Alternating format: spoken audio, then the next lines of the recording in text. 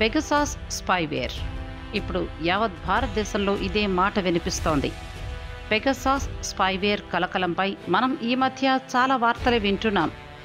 అయితే అసలు పెగసాస్ అంటే ఏంటి? దీంతో ఏం చేయొచ్చు అనే సందేహాలు చాలామందిలో ఉన్నాయి. మనం ఇప్పుడు ఈ వీడియోలో పెగసాస్ ఎలా పనిచేస్తుంది? పెగసాస్ స్పైవేర్ ఒకరి ఫోన్కు ఎలా చేరుతుంది? పెగసాస్ ద్వారా మీ ఫోన్ ట్రాక్ అవుతుందో లేదో ఎలా తెలుసుకోవాలి? పెగసాస్ను ఇతర సాఫ్ట్వేర్ ద్వారా ట్రాక్ చేయొచ్చా? ఫోన్లో పెగసాస్ ఏం చేయొచ్చు? వాట్సాప్ చాట్ని దీంతో ఎలా హ్యాక్ చేస్తారు? పెగసాస్ నుండి తప్పించుకోవడానికి మార్గం ఏంటి? ఇలాంటి ఎన్నో విషయాల గురించి మనం ఈ వీడియోలో వివరంగా తెలుసుకుందాం. అంతకంటే ముందు మా ఛానల్ని మీరు మొదటిసారి చూస్తున్నట్లయితే కనుక తప్పకుండా సబ్స్క్రైబ్ చేసుకోండి. వీడియోని లైక్ చేయండి షేర్ చేయండి. పక్కనే ఉన్న బెల్ సింబల్ని కూడా క్లిక్ చేస్తే మేము ఏ కొత్త వీడియో పెట్టినా మీకు నోటిఫికేషన్ వస్తుంది. మరింకెందుకు ఆలస్యం? విషయంలోకి వెళ్ళిపోదాం. భారతదేశంలో ఒక నివేదిక కలకలం రేపింది. The Guardian and the Washington పోస్టుతో సహా పదహారు మీడియా సంస్థల జాయింట్ నివేదిక రెండు వేల పదిహేను నుండి రెండు వేల పంతొమ్మిది మధ్య భారత ప్రభుత్వం మూడు వందల మంది భారతీయ మొబైల్ నెంబర్లపై గూఢచర్యం చేసిందని తెలిపింది. వీరిలో జర్నలిస్టులు న్యాయవాదులు సామాజిక కార్యకర్తలు ప్రతిపక్ష నాయకులు వ్యాపారవేత్తలు కూడా ఉన్నారని. అంతేకాకుండా పెగసస్ స్పైవేర్ ద్వారా ప్రభుత్వం వీరి ఫోన్లను హ్యాక్ చేసిందని తెలిపింది. అసలు పెగసాస్ స్పైవేర్ ఒకరి ఫోన్కు ఎలా చేరుతుంది అనంటే పెగసాస్ను ఏదైనా ఫోన్లో లేదా మరేదైనా ఇతర డివైస్లో రిమోట్గా ఇన్స్టాల్ చేయొచ్చు. మిస్డ్ కాల్ చేయడం ద్వారా లేదా మీ ఫోన్కు WhatsApp message text message social media ద్వారా కూడా చేరవచ్చు. పెగసస్ ద్వారా మీ ఫోన్ ట్రాక్ అవుతుందో లేదో ఎలా తెలుసుకోవాలి అనంటే మీ ఫోన్లో ఏదైనా వింతగా జరుగుతూ ఉంటే మీరు అప్రమత్తంగా ఉండాలి. మీ ఫోన్ని పర్యవేక్షించడం ద్వారా కూడా ఈ వైరస్ని కనుక్కోవచ్చు. అయినప్పటికీ మీరేం చేయలేరు. ఎందుకంటే ఇందుకోసం మీరు ల్యాబ్ సహాయం తీసుకోవాల్సి ఉంటుంది. ప్రాసెస్ మానిటరింగ్తో మీ ఫోన్లో ఎంత ట్రాఫిక్ ఉందో ఇంకా డేటా ఎక్కడికి బదిలీ అవుతోందో తెలుసుకోవచ్చు. ఫోన్లో పెగసాస్ ఉనికి గురించిన సమాచారం ప్రాసెస్ మానిటరింగ్ లేదా ఫోరెన్సిక్ ల్యాబ్ల ద్వారా మాత్రమే సాధ్యమవుతుంది. ఎందుకంటే ఈ సాఫ్ట్వేర్ గూఢచర్యం చేయడానికి చాలా తెలివైంది. ప్రాసెస్ పర్యవేక్షణ అంటే ఫోన్ పనిచేసే ప్రక్రియను పర్యవేక్షించటం. ప్రాసెస్ మానిటరింగ్తో మీరు చేయని మీ ఫోన్లో ఏం జరుగుతుందో తెలుసుకోవచ్చు. పెగసస్ను ఇతర సాఫ్ట్వేర్ ద్వారా ట్రాక్ చేయొచ్చా అని అంటే పెగాసాస్ను మరే ఇతర సాఫ్ట్వేర్ ద్వారా ట్రాక్ చేయలేం. పెగసాస్ను అన్ని రకాల వైరస్లకు తండ్రని పిలుస్తారు. పెగసాస్ కోడింగ్ చాలా బలంగా ఉంటుంది. ఇది యాంటీవైరస్ని కూడా దాటవేస్తుంది. ఫోన్లో పెగసాస్ ఏం చేయొచ్చు అనంటే పెగసస్ మీ ఫోన్లో మీరు చేసే అన్ని పనుల్ని చేస్తుంది. మీ కెమెరాను ఓపెన్ చేయడం ద్వారా ఫోటోని క్లిక్ చేయొచ్చు. మెసేజెస్ని పంపచ్చు. క్యాలెండర్ చెక్ చేయొచ్చు. ఈమెయిల్ నుండి బ్యాంక్ యాప్స్ వరకు మీ పూర్తి సమాచారాన్ని తీసుకుంటుంది. అలాగే మైక్రోఫోన్ని హాయిగా యాక్సెస్ చేస్తుంది. వాట్సాప్ అండ్ ఐ మెసెంజర్ వంటి ఎన్క్రిప్టెడ్ యాప్స్ నుండి చాట్లను కూడా చదవగలదు. ప్రాసెస్ మానిటరింగ్ లేదా ఫోరెన్సిక్ ల్యాబ్స్ సహాయం లేకుండా గుర్తించలేని విధంగా చాలా ఖచ్చితత్వంతో చేస్తుంది. పెగసాస్ నుండి తప్పించుకోవడానికి మార్గం ఏంటి అని అంటే దీని నుండి తప్పించుకోవడానికి నివారించడానికి మార్గం లేదు. దీనికోసం యాప్ లేదా డివైస్ అప్డేట్ చాలా ముఖ్యం. అప్డేట్ వచ్చినప్పుడల్లా ఫోన్ని అప్డేట్ చేయండి.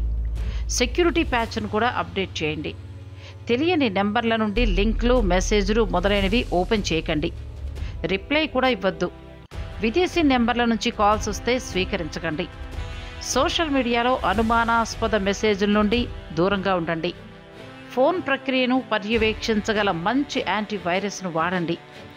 పెగసస్ వివాదం అసలు ఎలా మొదలైంది? ఇప్పుడు ఇది హాట్ టాపిక్గా ఎందుకు మారింది? అనంటే పెగసాస్ ఎంతోమంది జర్నలిస్టులు సామాజిక కార్యకర్తలు నాయకులు మంత్రులు ప్రభుత్వ అధికారుల ఫోన్లపై నిఘా పెట్టడానికి ఇజ్రాయెల్ కంపెనీ ఎన్ఎస్ఓ గ్రూపునకు చెందిన ఈ సాఫ్ట్వేర్ను ఉపయోగించారు అనే ఆరోపణలు ఉన్నాయి. యాభై వేల నెంబర్ల database leak అవడంపై the Guardian Washington Post the Wire Frontline Radio France లాంటి పదహారు మీడియా సంస్థల జర్నలిస్టులు పరిశోధనలు చేశారు.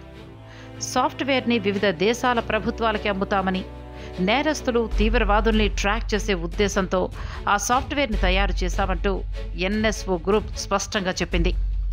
ప్యారిస్లోని ఫర్బిడియన్ స్టోరీస్ మీడియా సంస్థ ఆమ్నెస్టీ ఇంటర్నేషనల్కు యాభై వేల ఫోన్ నెంబర్లకు సంబంధించిన డేటా లభించింది.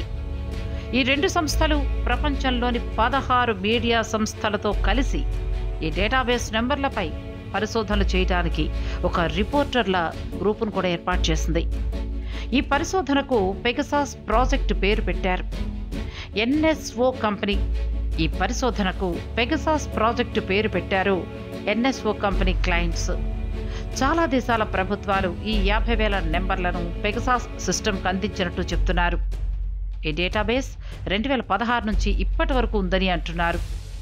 అయితే లీక్ అయిన యాభై వేల నెంబర్ల డేటాల్లోని అన్ని నెంబర్లను పెగసాస్ హ్యాక్ చేసిందా? లేదా వాటిపై హ్యాకింగ్ ప్రయత్నాలు జరిగాయా అనేది ఖచ్చితంగా చెప్పలేం. ఏదైనా ఒక డివైజ్ పెగసాస్కు హ్యాక్ అయిందా లేదా అనేది ఖచ్చితమైన సమాధానం ఫోరెన్సిక్ పరిశోధన తరువాతే తెలుస్తుంది. ఆమ్నెస్ట్రీ ఇంటర్నేషనల్ ద టెక్ ల్యాబ్లో అరవై ఏడు డివైజులకు ఫోరెన్సిక్ పరీక్షలు చేసింది. అందులో ముప్పై ఏడు డివైజులు పెగసాస్కు టార్గెట్ అయ్యాయని గుర్తించింది. వాటిలో పది డివైజులు భారత్కి చెందినవి. జీరో క్లిక్ అటాక్స్ ఎలా జరుగుతాయి అనంటే మానవ తప్పిదం లేదా మానవ ఇంట్రాక్షన్ లేకుండానే జీరో క్లిక్ సైబర్ అటాక్స్ అనేవి పెగసాస్ వంటి స్పైవేర్లకు మొబైల్ని కంట్రోల్ చేయడానికి సహాయపడుతుంటాయి. నేరుగా సిస్టమ్ పైన అటాక్ జరుగుతుంది కాబట్టి ఫిషింగ్ అటాక్ గురించి అవగాహన ఉన్నా లేదా లింక్స్ పైన కూడా క్లిక్ చేయకూడదని తెలిసినా ఎలాంటి ఉపయోగము ఉండదు. సాఫ్ట్వేర్ పైన ఎక్కువగా జరిగే ఈ అటాక్స్ హానికరమైనవా కాదా అని నిర్ధారించడానికి సమయం కూడా ఉండదు. చాలా రహస్యంగా ఫోన్లోకి చొరబడే ఈ స్పైవేర్లను గుర్తించడం కూడా చాలా కష్టం. ఈ ఏడాది ప్రారంభంలో సైబర్ సెక్యూరిటీ సంస్థ జెకాప్స్ ఐఫోన్లు ఐప్యాడ్లు మెయిల్ అప్లికేషన్ ద్వారా అన్సిస్టెడ్ దాడులను ఎదుర్కొంటాయని తెలిపింది. ఐఫోన్స్లో ఉన్న సెక్యూరిటీ వ్యవస్థ రిమోట్ కోడ్ని ఎగ్జిక్యూట్ చేసే సామర్థ్యాలకు అనుమతినిస్తుందని కొంత మొత్తంలో మెమరీని వినియోగించే ఈమెయిల్ల ద్వారా అటాకర్లకు మొబైల్ని రిమోట్గా హ్యాక్ చేసే వీలు కల్పిస్తుందని జకాబ్స్ బ్లాగ్ వెల్లడించడం జరిగింది. యాపిల్ వైర్లెస్ డివైజ్ లింక్ ద్వారా కూడా ఈ దాడులు జరుగుతాయని టెక్నాలజీ నిపుణులు వెల్లడిస్తున్నారు. IOS thirteen point three point one security patch update release చేసినప్పుడు యాపిల్ సంస్థ మాట్లాడుతూ ఈ సమస్యను పరిష్కరించాము అని తెలిపింది. కానీ దాడులు జరిగే అవకాశం ఉంది అంటూ చెప్పింది. Android four point four point four version అంతకంటే ఎక్కువ వెర్షన్ మొబైల్ ఫోన్లపై కూడా ఈ దాడులు జరిగే అవకాశం ఉంది. WhatsApp graphics library streaming movies games తదితర మార్గాల ద్వారా స్పైవేర్ దాడులు జరుగుతాయి. ఈ సైబర్ దాడుల్ని గుర్తించడమే కష్టసాధ్యం. కాబట్టి నిరోధించడం అనేది దాదాపు అసాధ్యం. మొబైల్ వినియోగదారులు చేయాల్సిందల్లా తమ సెక్యూరిటీ ప్యాచ్లను ఎప్పటికప్పుడు అప్డేట్ చేసుకోవాలి. Google Play Store app Apple Play స్టోర్ల నుంచి మాత్రమే అప్లికేషన్లను డౌన్లోడ్ చేసుకోవాలి.